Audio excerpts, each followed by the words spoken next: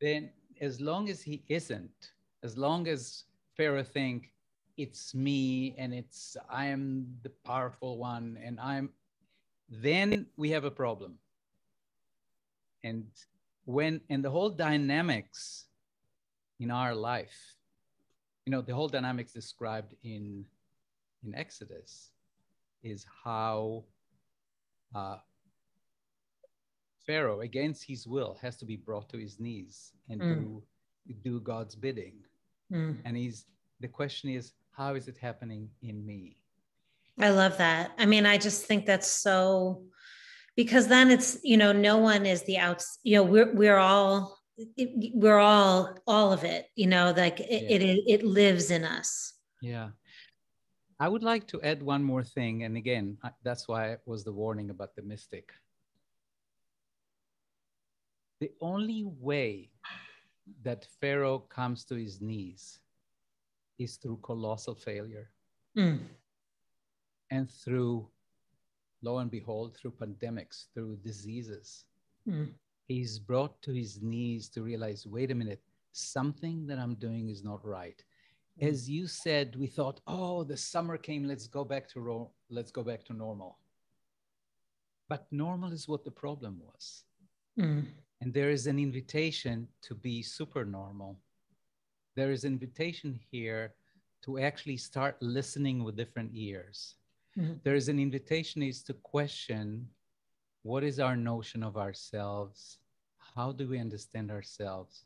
What is our notion of our relationship to the universe? And what is standing between me and having that different relationship? What is standing between me and having uh, this conviction of me being a pharaoh or aspiring pharaoh or a failed pharaoh? and what stands between me and starting to respect that part of me which is moses and you know the the time we are in where we said talk about something we say it's shrouded in mysticism mm-hmm. that is so revealing because mystics used to be the nuclear physics of their time they were the ones who were going to unknown chart uncharted territories and they were actually the one that provided the the backbone for spiritual teachings to to develop. Of course, there's there's all kinds of good reasons for it, but now mysticism, oh, he's just a mystic. He's talking mysticism. And we live in an age I feel something has to be changed so that not that we go back to any less evolved era, but can our consciousness acknowledge, as C.G. Jung uh, encouraged us to do, that at the basis of the intellectual development, we are mythological creatures. And there is a collective unconscious where, with a lot of information about who we are, and that we have to start learning from there, not just from New York Times and Washington Post and what have you. Wow, that's a lot to chew. Um, and I'm so with you. Um, as a fellow lover and mystic, I, I, um, I think what I want to pull out from that, I think I'm getting off the page because you've just opened this up for us. So I, I'm mm-hmm. going to move away from my, I'll use some of those questions in a bit, but um, I want to stay here. Um, I guess what I want to ask you is, um, you know, in reawakening that sense of myth um, and reawakening the um, what I often think is this magical world that is teeming with life that we so often don't see because we are we are shrouded. Mm-hmm. Um, and we have to take off, those those shells that keep us from experiencing the beauty and the magic of this world. I told you this story when we spoke, and I'll just, I'm going to make it very short because I want to hear you. Um, but when I, this summer, my family and I spent um, a month away from Washington, and we, I went on daily runs. And on these runs, I was seeing owls. And my understanding is owls are nocturnal. So I just was delighted. I would just sit and watch them. They were high up in the trees and they would watch me back. And I kept thinking to myself, there's a message, there's something that nature is speaking to me. And I don't know yet what it is, but was so delighted to be in that conversation with the natural world. And I feel like that practice is, it feels to me that that's what you're describing is this practice of both being aware of what's internally going on for us inside as ignited by the stories in our tradition and also using the the wisdom of the mystics to help us become aware and attuned to the natural world that is already here. And i just wondered if you'd say more about that attunement and how we get on that road. Beautiful. So first of all uh, i want to emphasize that uh, it, that it's not that the intellectual and scientific development are wrong and you know just like Mark Twain supposedly, apparently it may or not have been him, but supposedly Mark Twain says, when I was 15, my father was a damn fool. When I was 25, I was amazed to realize how much the old man has learned in 10 years. Mm. Mm. So I feel that that kind of relationship is the relationship that science has to the old mystical traditions. That in order to emerge, it had to just put it all aside and rebel and, and separate and individuate, so to speak, and then come back and realize, wait a minute, now let's go back and look. And let's see that there's different ways of relating to reality, as you say. That when an owl appears or when the sun sets, there's the, depending on the situation, there may be something that we can connect to in a way that's not materialistic. And and one of the things that would be interesting to find out is what stands between us and the ability to do that. Hmm. and that's that's another thing that we need to talk about. And that's that's why we wanted to talk about trauma. We wanted to talk about about spiritual practice but basically there are different ways and sometimes many of us in our childhood and maybe later in life we get glimpses but because there's no social cultural context to understand those glimpses, we, we let it slide and there's no traction. And one of the things that happens in times of calamities, hmm. in times of uncertainty, as you must experience as a rabbi, people turn to that which normally they scoff at and they say, well, maybe there is something there because that which that which they base their pharaohic consciousness doesn't work. So they say, well, let me listen to the Moses in me a little bit more. And so I feel in that sense also that when that happens, then people live more in harmony with nature, then we will also violate nature less. And if we violate nature less, nature will not be not have to be so angry at us. You know, um, a few years ago, I, I, I, I, listened. I went and actually participated in in a in a workshop that uh, famous spiritual teacher Eckhart Tolle gave. And there's only one thing of that uh, workshop that I remember where he spoke about the earth. And he says the earth is a living organism. And a live it's not just a rock floating in space. It's a system a living organism. And he said living organism has a way of purifying itself so just like a human being you know it can can take some abuse and some abuse and afterwards it there comes a point where the sickness emerges and sickness is just the body's attempt to purify itself from the disease so he says listen either we wake up or the earth will start to purify itself because it's a living organism. Hmm. And when it purifies itself, let's hope we're not found to be the cause of the disease, but the earth will go on. We may not. Right.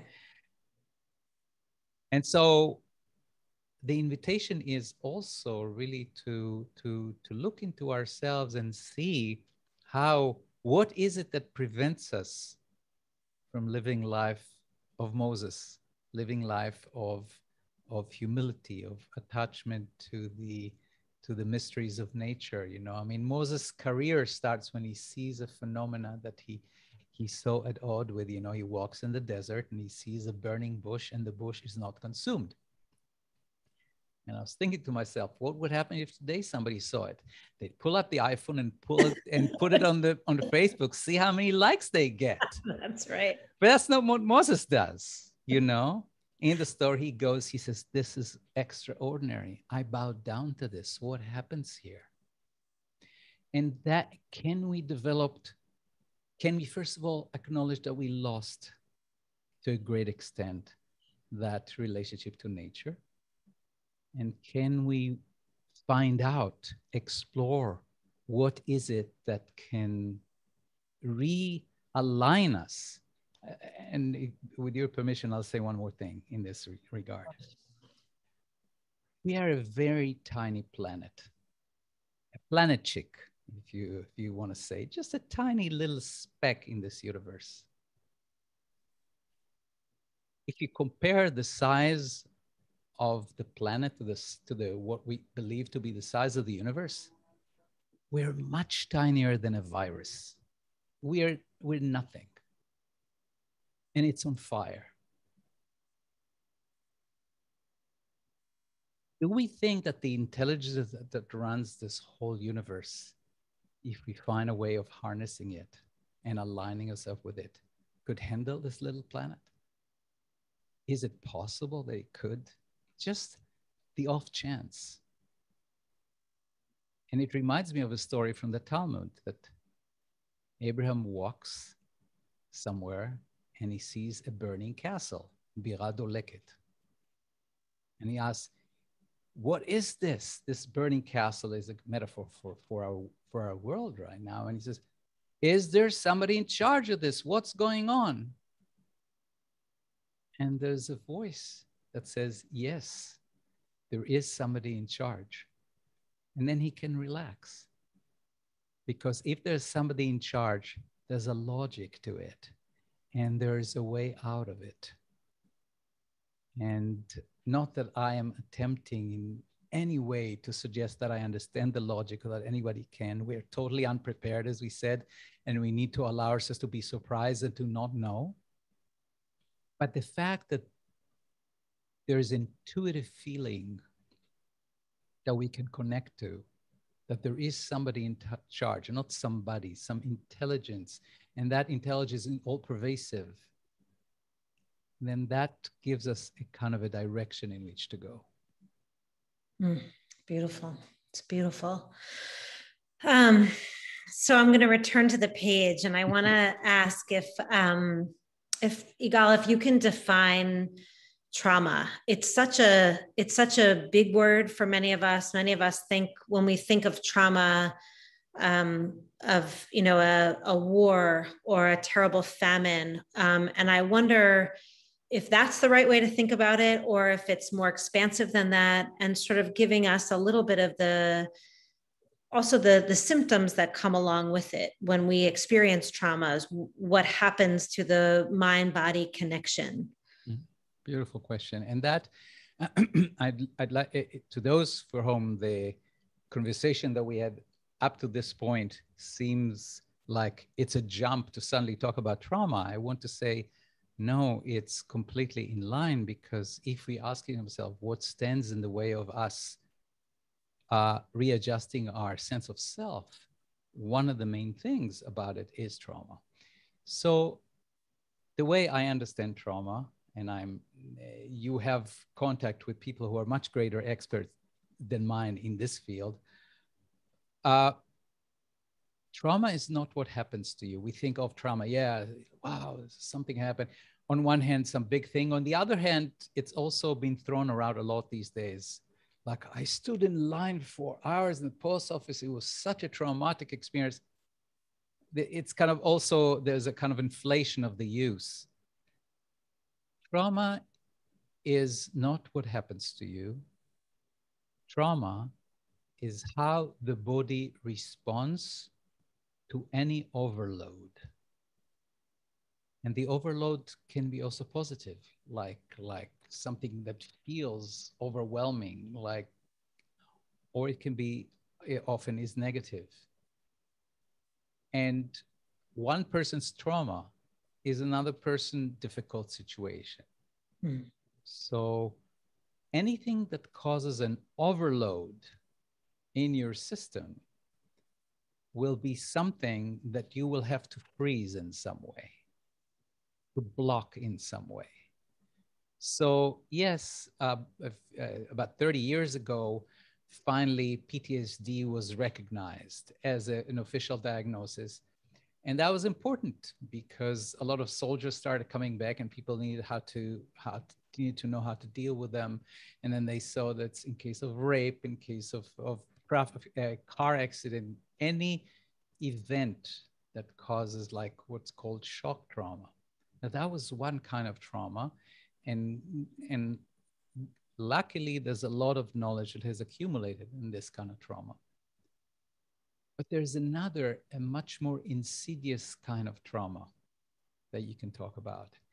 And that's trauma that comes when you grow up in a family where the caregivers, not because they're bad people, but are not, not capable of attending to your emotional and or spiritual and or intellectual and or physical needs. And it could be sometimes because your mother was hospitalized for two months god forbid when you were two years old and and and your care was disrupted. So that's a different kind of trauma. It's more insidious because with this kind of trauma we, we it's not obvious. The, the the the process is not obvious manifests a lot later. But in both cases what happens if the experience is too much and there's no way of regulate it you freeze it somewhere in your body. Mm and and you don't address it which is a very we think about it as a bad thing that happens but it's a very clever useful mechanism. So for example they say uh, that women during rape they can dissociate with their body. And so that allows them to to maintain some semblance of sanity in in the face of that assault. But that dissociation breaks something of the body mind mind body coordination. So, trauma is all those pockets of a frozen experience. Now, depends when that experience happens and what the nature of that experience, how the symptoms will look. So, these are individual traumas. I'd like to say that they've found out that trauma is passed over genetically or, or, or epigenetically from generation to the next. So, for example, I'm a second generation Holocaust survivor. The second generation Holocaust survivor syndrome is very similar across uh, all over. And Rachel Yehuda was the first one who broke that, uh, who, who, started, who started studying this and showing also with researchers she did mice that intergenerational trauma is passed on. Hmm. As a as a side note, I will say that the symptoms of second generation Holocaust survivors, the symptoms of their trauma, are almost identical wow. to the symptoms of second generation Holocaust perpetrators. Wow. So it's a it's a very similar, and that that is uh, something very surprising. So, so that's another kind of trauma. And then there's a third kind of trauma. And I'm sure there's more. I mean, this is what the knowledge that I have. And that is uh, um, cultural trauma, collective trauma. So, for example, uh, one of uh, my teachers, uh, the person I study with, is uh, Dr. Laurence Heller. He's the person who uh, founded this uh, system of, of um, trauma healing that I practice called NARM. And uh, I lost my train of thought. Uh, yes, and he is fond of quoting a, a, a one of St. Paul's saying, now we see through the glass darkly, Hmm. And then we will see right. Now, the thing is, when everybody sees through the glass darkly, then everybody thinks that that's normal. We live in a collective traumatized milieu. So certain things are not considered normal. So when kids have certain experiences of seeing things more deeply, they're being dismissed. And so they say, okay, that's not the way to get love. I have to get to to tune in with with with what's happening.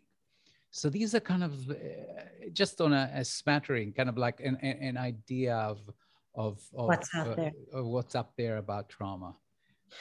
You know, when we spoke, um, when we when you and I spoke, um, you brought up this beautiful metaphor of the Kotzer Ruach, which mm-hmm. when I think about it, doesn't feel like a metaphor at all. It's this, you know, the idea of thinking about collective trauma and Bnei Israel, the children of Israel, almost, you know, losing their breath and having shortness of breath because they were, it seems to me, you know, this, you know, disembodied. It was having experienced what they experienced, both the, as you described, trauma, you know, the overwhelming nature of the plagues and then the overwhelming nature of crossing the sea. Um, so both, it seems to me, both the the miraculous and and the incredible, as well as the the this deeply sad and painful. And it seems like it literally caused the shortness of breath which i actually have to say the fact that the torah has any concept of that i always like those are the moments when i feel like there was divine inspiration here because mm-hmm. to have awareness that those experience might cause you know a lack of being connected to our bodies that we couldn't even breathe it, mm-hmm. it's brilliant yeah so yeah, I think I, go back to what I said that I look at that whole uh, the the whole story of the Exodus as as basically as as symbolic metaphors for what has happened in us, what's what is happening in us, and the place where the shortage of bread was was used is when the people of Israel were enslaved in Egypt, and the result of Moses' negotiation with Pharaoh he actually that he asked them to let he asked for them to be let go. Then pharaoh increased their suffering increased their work and moses started going to the people of israel telling them guys god's going to help you listen to the word of god and it says they wouldn't listen to him because for shortness of breath and for hard work and I feel this is really telling of our times right now. We are so overwhelmed with what's happening right now. We are so overwhelmed. And, and, and, and listen, I'm not criticizing every, anybody. This is overwhelming. I mean, if you, we don't have young children. If we had young children, two, three children sitting at home, not studying, and the whole family together, and all the tensions that comes. And I'm also trying to do the work, work to bring bring food on the table. It is an incredible stress, as it was at that time in Egypt, where the stakes went higher. And so, I think what you're saying is that uh, one of the powerful ways of dealing with trauma is really becoming more embodied.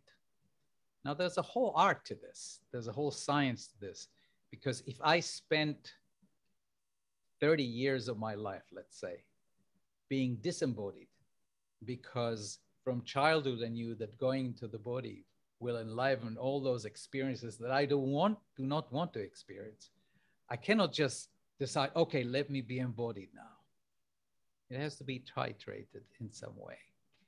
So uh, and at the same time, this is really the thing because one one thing that is told about trauma is that you go to your head.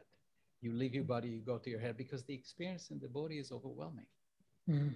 So so that is so that is exactly the right condition. It is about it is about uh, embodiment. I will also say also you know, because the interpretation of the Jewish texts in this country, particularly, has been so influenced by the Germanic schools rather than by the Eastern European Hasidic schools. The, the interpretation became very literal and dry. And all the Jews who wanted to have a deep spiritual experience went to India, became Buddhists or, or, or Hindu, or because nothing was available in our own tradition. I am a poster child uh, for that. I'm saying this that as we learn more about what mysticism is about, then we come back, which is what happened to Alan Lew that we quoted. Mm-hmm. We come mm-hmm. back to our tradition, we realize, holy what whatnot, this has been here on the surface, lying, inviting us all along, and he was beaten out of us by those Protestant imitating Jews that came from Germany and wanted that to be wanted it to be respectable. So this is basically uh, uh, my take on why so many of the leaders of the the Jewish, the Buddhist, uh, the Buddhist movements in America were born in Brooklyn and speak with, you know, born in Brooklyn, and and so many of the Hindu uh, uh, religions uh, leaders are Jewish, it's because there was a hunger that was not satisfied by us. And it's, and part of it is that particular aspect of, of neglecting the, the, the, uh, the neglecting the, the, um, the mystical aspect. Uh, and not there was good historical reasons for this, but I think now it's time to bring it all back. I agree. I could not agree with you more. I could not agree more. Um, so I think one of the things I want to ask you to talk about also, um, I, I, know that you, you, you know, you have a, um, well, I'll just ask you the question. So you have taught from the place of listening to a call that is deep within us. And I wondered if you could talk about that call. What is it? How do we listen for it? How do we find that sort of what you call the radical immediacy of the divine presence? How do how do we, you know, obviously the if we need to do trauma work, that's a place we need to go for sure, and to get professional help to help us deal with those things. Um, but also there there might be you know some moments for us to be able to to listen for what's right here. And so I, I wondered if you could talk about that a bit. Thank you. That yeah, appreciate the question.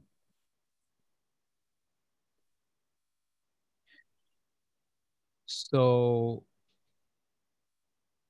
when I teach and use the words radical immediacy of divine presence, I am playing records that were produced by the great mystics of all religions throughout the ages. Mm.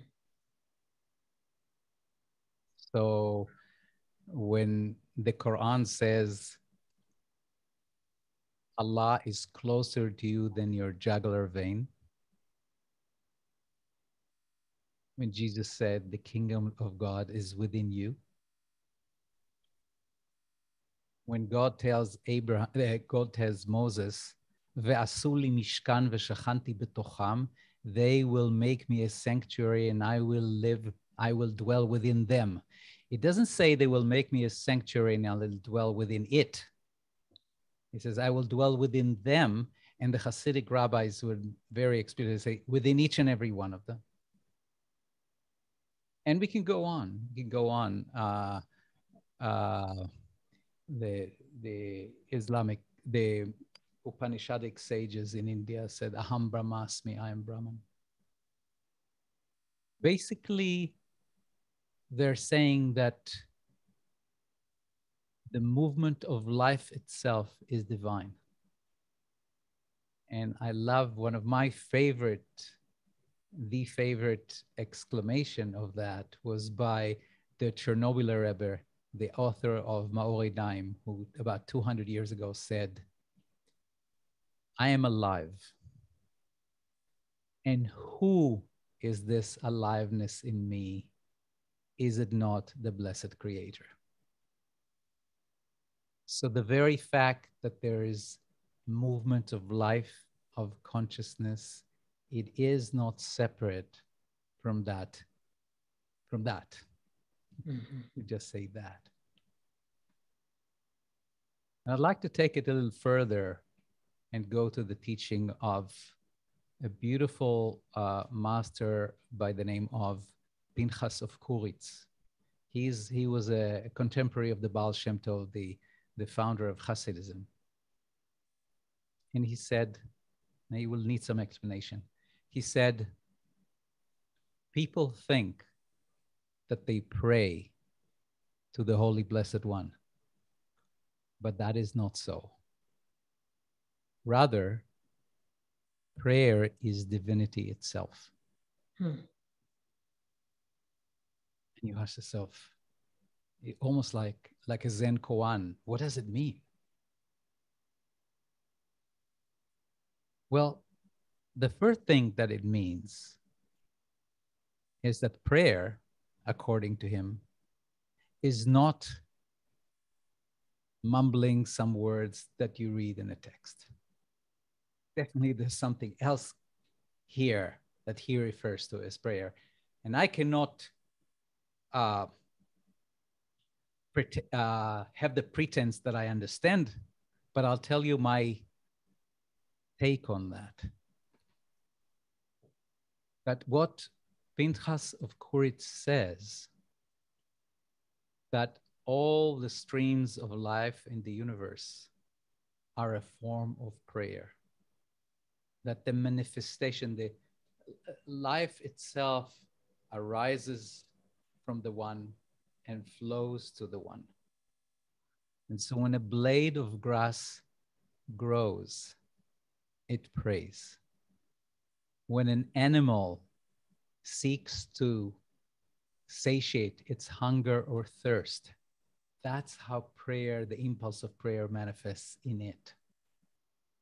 When uh, an animal in heat, when an animal defends its territory, it is one more manifestation of that mystery and all this diversity in the Hasidic teaching is the levushim, the garments of that one. And all the movements of that one are basically prayer, God talking to himself. Hmm.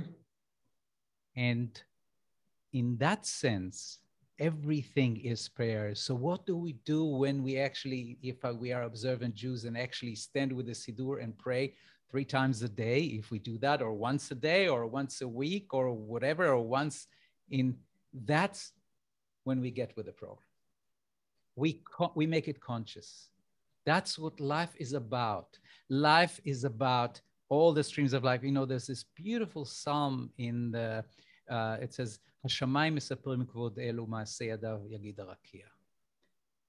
The heavens tell the glory of God, and the firmament tells the uh, speaks about the work of his hands. So it's a, and, and, and telling the glory of God is prayer. So it tells us that the whole cosmos, the firmament, is praying. It's one thing, and and and there's another thing in the in the Psalms. It says "Tfilah le'el chayai." Normally translated as praying to the God of my life, but literally without any grammatic acrobatics, you see, it can also mean Tfilah la'el chayai means mm. my life is prayer to God. That's what it is. Mm. So from that point of view, and it, and again, it's uh, in in our better moments we can hope to have a glimpse of that. And I would say that that is an invitation to completely realign who we understand ourselves to be, what we understand our life to be, and what we understand is that titanic war between the Pharaoh in us and the Moses in us the Moses in us is a constant reminder and nagging invitation to come and make this a living reality in our life. Hmm. It's so interesting because when you say that, you know, this, you know, the tefillah chayai, you know, this this idea feels to me that prayer as performative, you know, those moments when we I, I wonder, I guess one of my questions is like how to how to remove ourselves from if we are praying in a, you know, with keva, where we have this structure that we're in the Siddur and we're in a particular time of day. Not that we can't pray when we're on the way, but derech is a wonderful way to pray. But the tools for especially for those of us who are going to spend many hours either on zoom you know on live stream or for those of you who are coming in person to prayer for rosh hashanah and yom kippur we are there's so many words um, and how to use that what are your tools for um, i mean i almost feel it's you know how do we bring life back into the siddur in a way that it seems to have in some ways you know sometimes through the performative lost it. Mm. maybe it didn't lose it but maybe we lost it. It's it's the $64000 question because because it is really the you're asking the the most juicy question how to make prayer real. How to make it so when i actually pray i do have the consciousness that I now bear witness to the fundamental movement of life in the universe rather than my own kind of personal engagement. And they're so, and I would say katonti. Katonti means I'm really, you're asking me a huge question, and, and that question uh, brings me almost not metaphorically to my knees because how this is really the question of questions the question of authenticity the question of humility the question of of of of of the meaning of life there is uh, what comes to mind i'll just speak what comes to mind Please. you know when we when when we start the daily prayer which we with those of us who observe and do three times a day, we start with the words, Adonai sfatai tiftach ufi latecha. God, open my mouth, open my lips so my mouth can speak your praise. We acknowledge that praying authentically praying with depth, praying is in itself a divine grace. And Rabbi Elimelech from, from one of the greatest Hasidic uh, teachers that ever ever arose, he and he had prayer before prayer. So in all the old prayer books, you can still find the prayer before prayer of Rabbi Elimelech von Lizhansk. And if you read that prayer, basically he's saying, I realize this is really difficult. It's not out of disrespect for you. The whole, the whole, I should say here, stop for a minute, asterisk. The whole thing of addressing God as you. What does it mean addressing God as you? If God is the totality of the universe, then is it some man in the sky? We, that's not where we look at. And yet, you address that as you because then you have a relationship to it. Once you have you, you can actually have a relationship. You can have, uh, uh, th- there is a duality. Mm-hmm. So you can have a, so he says, it's not that we don't respect you. It's not that we don't want to be, but basically he's saying in his words, in his terminology, but he's basically saying we're traumatized. Yeah. He's saying, help us out of this. And you see, you do need some divine grace. I want to say here, this is the collective thing is so important here. Because the uh, the by the way, I hear put a shameless plug for a, a book that I really love. It's uh, called Healing Development, Healing Collective Trauma by Thomas Hübl, which discusses uh, exactly this. What I want to say, that uh, uh, there is a collective dimension to it that makes it difficult for our people of our time to really, uh, especially if we're sophisticated intellectually and philosophically, to really get to that position of surrender. Yeah. We think we we uh, we almost feel apologetic within ourselves about it. Yeah. And and and I think two things really helpful. One is meditation that you get a glimpse of what it is to just basically uh, just the occasional glimpse of an existential relief and slowing down. Very important and helps with embodiment. And prayer itself prayer develops through prayer. So and uh, yeah so i know that this is no magic tricks.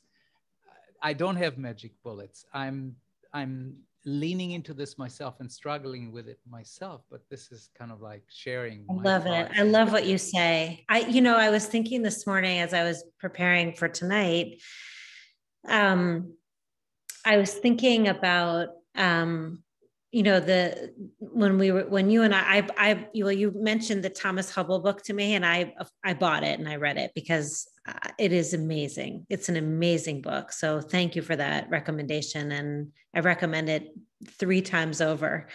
Um, but I was thinking about the embodiment that we have all many of us have missed over these past this past year and a half of the embodiment of communal song and the idea of being able to get lost in the collective. And I, you know, if folks out there, you know, those of you who are in DC, uh, you know, Adas has outdoor is like my own plug, but you know, we have outdoor uh, tent in the front and in the back, so we're going to have outdoor services. Um, we'll have indoor too, but I do think that whether that's like a a song group or a some kind of collective prayer that people can do together where you you know we can almost lose ourselves you know the boundaries and the borders disappear between us and the people we are with. Um, i think that that has been something that we've missed so much over these past 12 months and the or 18 months um, and the idea of being able to come back together in the collective has the potential to to maybe also offer um, you know the the spontaneity and the organic nature of what happens to the emotional space of each one of us in that prayer because uh, we're not alone. So let me throw something speculative here because you know uh, we said that there are emergent things happening sometimes out of pressure and out of calamities. And this is something i'm not the first to speculate this but i'm going to throw it out there. We spent so much time in zoom. And for me i do all my therapy work in zoom And we have become more skilled if we're listening to attune to each other, even if we're, I'm not saying that coming together is not gazillion times better. I miss hugs. I miss uh, touch. I miss like like eating together and and all those things, of course. And yet we are actually coming into a situation where look, I'm right now, I'm not looking at you. I'm sitting in my room. There's a piece of glass in front of me made in China. And somehow there's a, some representations of you, pixelated representations of you, which is not totally clear. I think if I saw you now in DC in person, I would recognize you, but still. And yet there's so much that we exchange there's so much depth that can be exchanged. There's so much emotion, that so much inspiration that can be exchanged. I think that gives us a kind of a hint at a direction that we can move into in terms of a, a deeper levels of attunement that even when we are together mm. we will learn to be more attuned to each other and that's a kind of a it, it's not that this is a solace or a silver lining we're seeing, but that is something that I feel is happening because also without Zoom, where would we be now? I mean, I mean thank Zoom God. made that, yeah, Zoom made that whole thing gazillion times better. So, yeah. So right. Um, I want to give everybody here a chance to ask you questions. Um, we're going to ask you all to um, put them in the chat and our amazing Naomi will um, feed them to us uh, so that I can ask Igal um, these questions that you all have. So feel free to do that. Um, I do want to, as as you're writing in your questions, um, Igal, just about what you just said about becoming so much more attuned, you know, in this when both not having what we always had and then also this what we're doing on this zoom as learning how to communicate with each other in different ways. Um, i'll just share with everybody that the first time we we as clergy went back to the synagogue um, first individually we were leading prayers alone in the synagogue um, through the live stream for folks that were following on the live stream and then, um, as it became clear that it was okay for us to be together, masked and very, very distant from each other with filters and all kinds of things, we started going two by two and then three by three and then four by four into the synagogue. And the first time that we heard each other say Amen mm. to our prayer, we we st- i mean our, we stopped we we stopped mid service because it was so overwhelming to hear somebody else say amen to our prayers and to say the line Yehei Shmei Rabbah, which is a line we have omitted from our Kaddiches that we do. We've been doing Kaddish online, but omitting that line without a physical minyan. And it was like, as you said, like the attunement of you know, I've heard Amen a million times, you know, in my prayer life and in my life as a rabbi and a prayer leader. And that moment of hearing it has inculcated it in a very different way of what I'm saying and what's being said to me when someone says Amen. You know, mm-hmm. I'm I'm with you, I hear you, I'm here, I'm a witness to you, which was a way I never I never experienced it that way before. And I think it's so what you just said about um, about this attunement, you know, that we have had to do in such a different mm-hmm. way. Mm-hmm. Mm-hmm. Yeah. Amen. okay, Naomi, whenever you're ready, you can feed us those. Um, and um, and if folks are having trouble you can also feel free to put them in the chat and we'll see them too in the chat.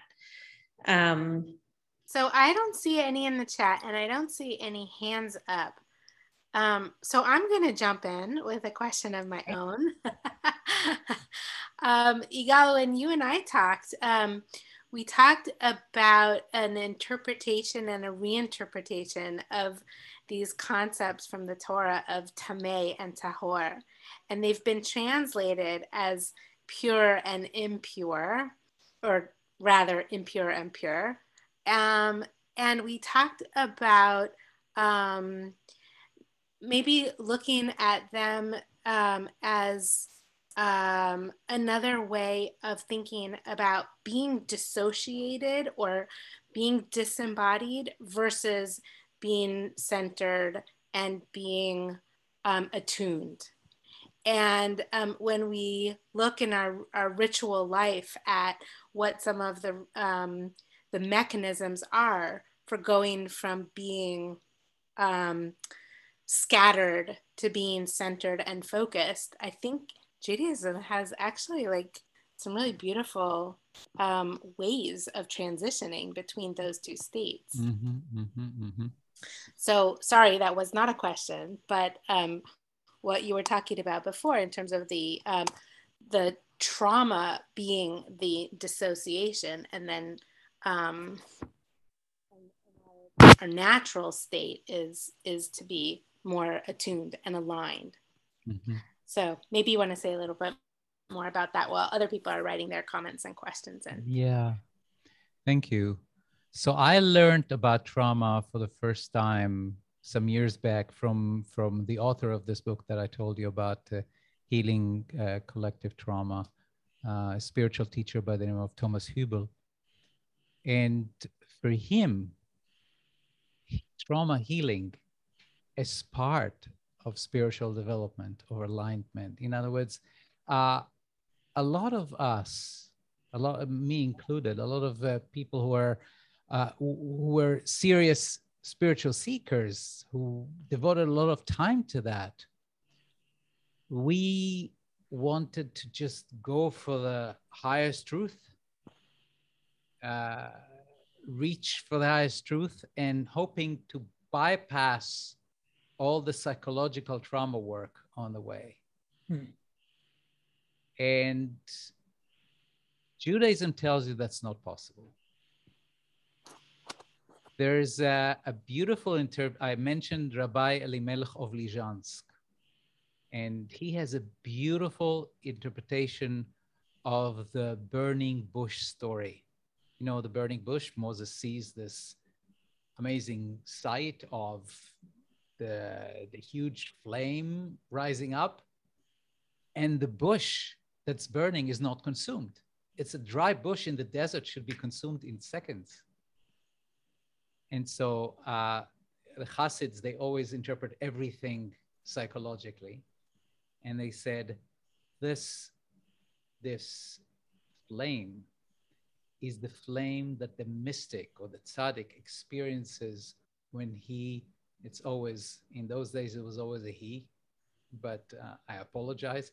When he experiences this one oneness with God, then that that flame, you know, is just of mystical union with God is there.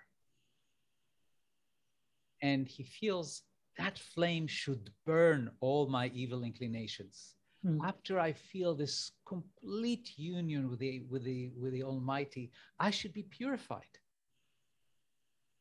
And then he realized the bush is not consumed. Mm. And the bush is all my evil inclinations. Mm that work is mine.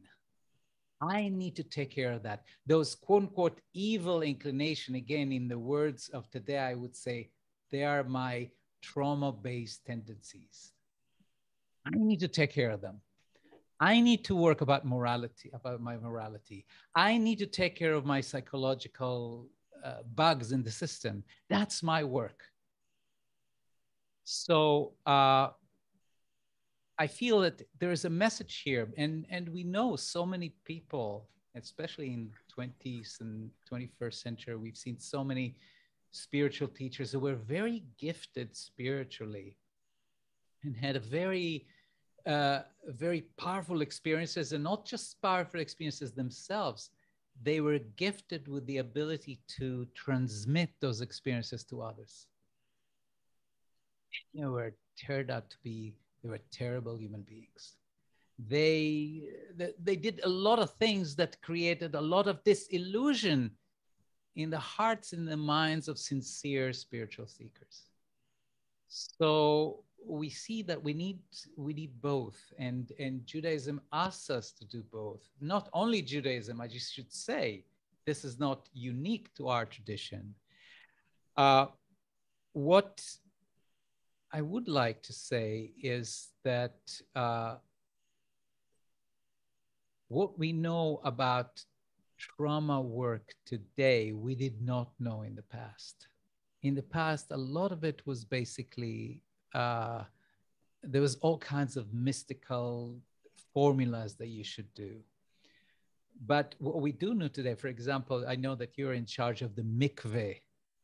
The mikveh is, to those that don't know, this is the ritual bath.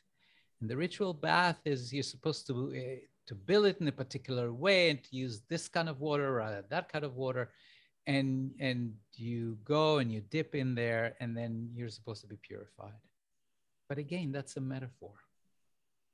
That's a metaphor of how you reach that part of yourself that was never impure how you reach that part of your own consciousness that was never solid that part that was never tameh and when you reach that purity within yourself, then you feel that those impurities dissolve. And you need to do the work to make sure they really, it's not just you feel they dissolve, they really do. Amen. Amen. Amen. There's a beautiful question from Anna who says, um, How can we humans address the trauma carried in the body of the earth? aside from clearing physical remedies like reducing carbon in the atmosphere? That's that's yeah, it's a brilliant question, and and and, and I think all spiritual traditions now are are called to to address this, and uh, and I think the answer is what I touched upon before, is my relationship to the earth? Am I on the earth? Or am I one with the earth? Am I a rider on this rock? Or am I part of this whole thing? If I'm part, just like being embodied, it's another extension of being embodied. And this is not just this uh, intellectual. First of all, I have to see, actually, most of the time, I don't feel part of this earth. In my better moments, I do. So then I have to ask myself, so what happens in those better moments that allows it? And do more of it.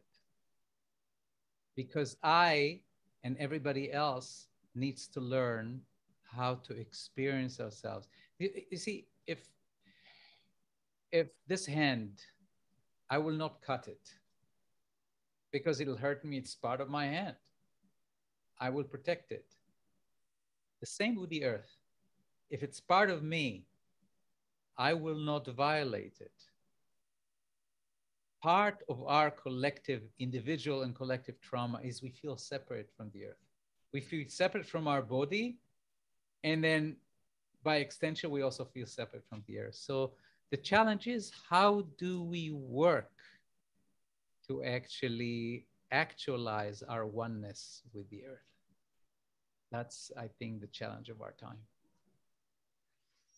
such an important challenge. Also for those of us who live in cities you know i mean the earth is av- available to us but it you know the and and here right central park or for us in dc you know rock creek park and as we go out our doors but i i do think there's a lot of concrete and um, finding ways of us really feeling as you said the embodiment of what it means to be a part of of the earth. It's it's so important I okay. want to say one more one more yeah. quick thing about that, with your permission. There's a Hebrew word teva. It means nature, and in Hebrew, every letter has a numerical value. So every word has a numerical value because you add the numerical values of the letters.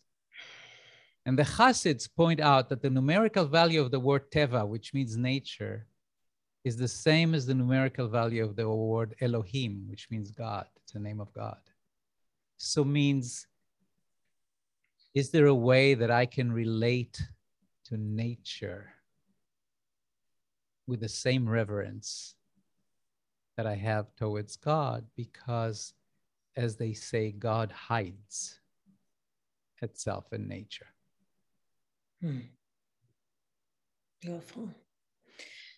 Okay, there are two more questions, and I think we should really get to both. And then we wanted to end with a meditation. So we're gonna we're gonna a short do, meditation. Yes. Right, a short meditation. Um, so Wendy writes, isn't some of our trauma and disconnection from our recent ancestors and histories?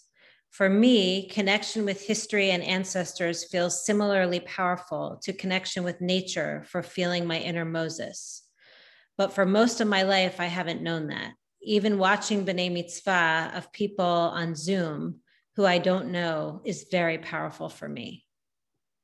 That is uh, beautiful, Wendy. And you see, if you think of the history of Jews in this country, many of them came here and out of the trauma that they have experienced in Eastern Europe, they wanted no connection to their and to their ancient histories.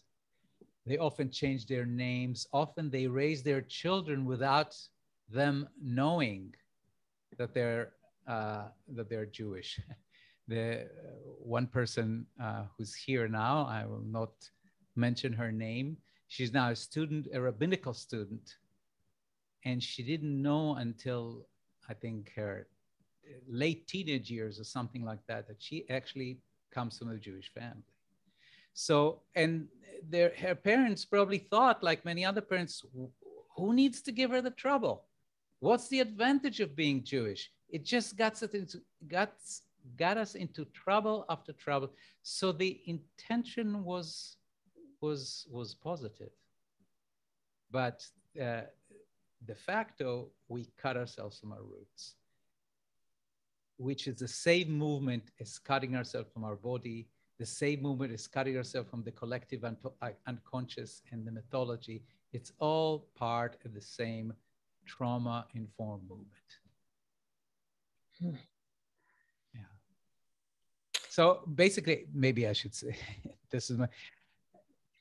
So when you experience that, you experience reawakening of that desire. This, in my, to the extent that I can be an interpreter here, this is a very healthy invitation to connect to your roots and and and it sounds like a very good thing to me. Yeah and it's a coming home. I mean i always feel that way. It's like our you know it, it, we're coming home to something that has been i think of it as like a light that has been there but we couldn't have access to it. And something in there keeps you know, burning our mikdash me'at, you know, and um, and the altar is in there burning and waiting mm. for to be connected to something, you know, outside of ourselves. Um, and I love that the Zoom B'nai Mitzvah are powerful. I, I think that's so special.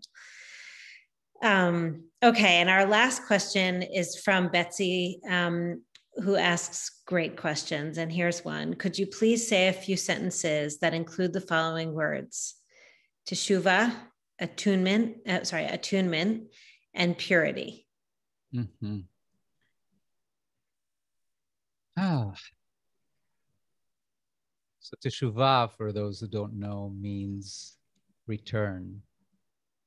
And the return that we're talking about is return to a state of alignment, a state of in which Moses is superior, a state in which the Moses in us wins. And uh, today, uh, too often, Shuvah is used in the sense of repent. Repent. And I remember Leonard Cohen's song, when they say repent, repent, repent, I wonder what they meant and you wonder what what do you mean? But if teshuvah means realign with your depth, that's something I can uh, sink my teeth into. And then that's attunement also is very deeply connected to that. Shuvah is all about attunement. As I said, it is attunement to that part of us, which is Moses. And purity, purity comes out of that that attunement i would say yeah i hope that satisfies it's kind of like i feel like uh, uh, it's almost like a, a, high school sort of uh, test question and write a composition uh, including these sentences. But there's beautiful, beautiful sentences to to contemplate. Thank you very much. So, Igal, I'm going to hand it to you to lead us in a short meditation, and then I'll close us out um, after we've had an opportunity to to realign. Mm-hmm. So, rather than call it meditation, let's call it a, a an exercise of alignment. And if you feel comfortable, sit. Uh, on a chair, on a sofa, reasonably with a straight back, not like a soldier, but just comfortable. And notice your exhalation. Don't mind your thoughts or sensations or emotions, just very lightly have your awareness float over your exhalation.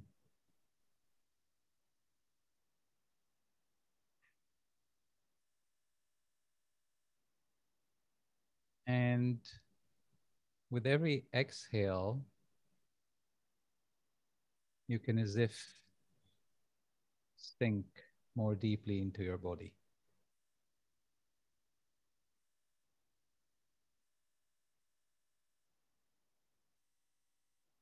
So you exhale, and it's as if there's a relaxation into the bodily sensations.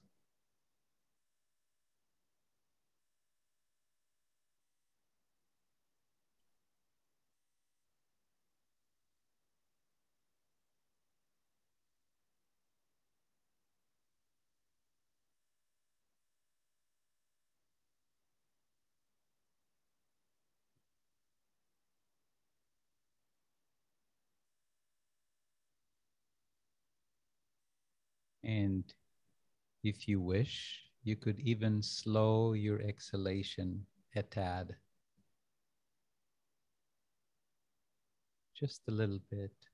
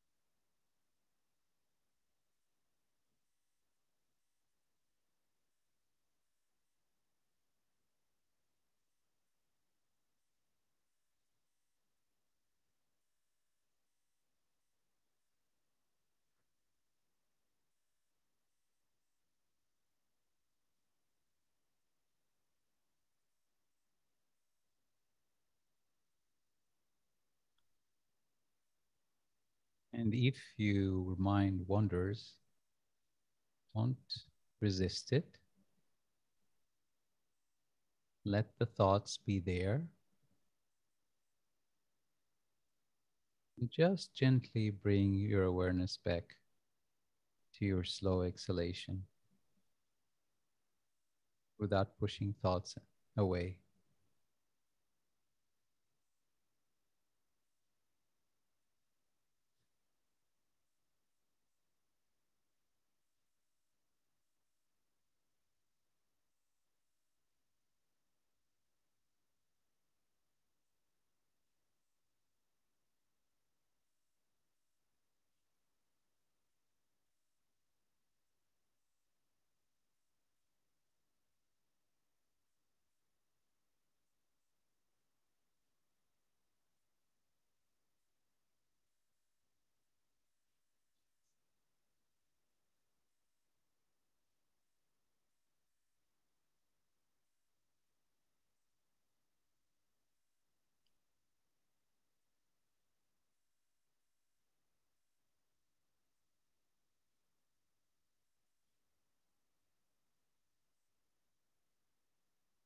And now bring your awareness to your feet. Feel your feet touching the ground. Feel the weight of your body on the chair or the sofa you're sitting on. Take a deep breath. You could even wiggle your toes or fingers a little bit and come back.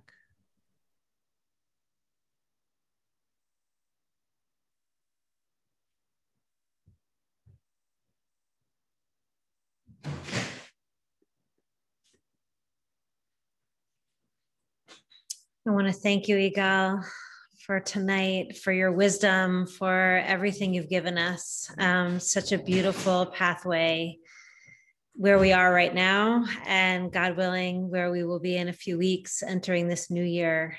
And um, I want to thank everybody for coming tonight. I want to thank Naomi Malka for handling our Zoom and our back end and um, and I want to invite all of you to um, all of the offerings that we are um, offering at Adas, whether that's Lichot on Saturday night, we have a tent in the tent or online. Um, we have many offerings through our Jewish Mindfulness Center that you can find on our website, as well as Briut, which is our wellness center.